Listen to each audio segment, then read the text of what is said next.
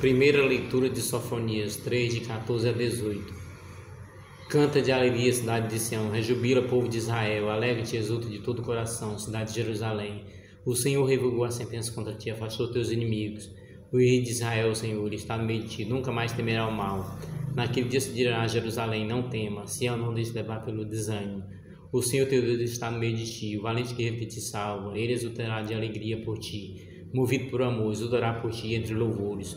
Como nos dias de festa, afastarei de ti a desgraça para que nunca mais te cause humilhação.